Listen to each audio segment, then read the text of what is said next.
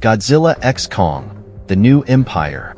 It appears that once again, the major cities are bracing for evacuation as the King of the Monsters and the Eighth Wonder of the world prepare to reunite in the next installment of the MonsterVerse saga, titled Godzilla x Kong, the New Empire. Legendary cinematic universe, inspired by the iconic Toho monster films, witnessed tremendous success with the 2014 Godzilla reboot, offering a spectacular Western adaptation characterized by its breathtaking scale and epic monster battles. Following Godzilla's triumph over the formidable Mutos, audiences were introduced to a plethora of new threats in Godzilla, King of the Monsters, unveiling the existence of other mighty creatures in the universe.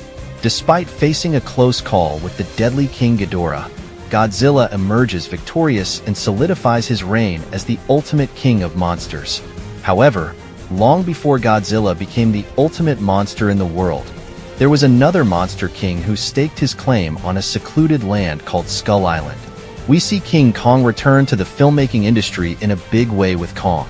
Skull Island, showcasing the giant ape fighting off intruders in his sacred homeland. Decades later, Kong and Godzilla would come face to face in the appropriately titled Godzilla vs. Kong.